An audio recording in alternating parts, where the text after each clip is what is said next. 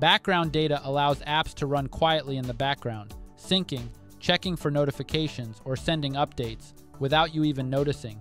While it's useful for some apps, it can drain your battery and burn through your data plan. So, here's how to prevent it. Start by opening the Settings app and selecting Apps.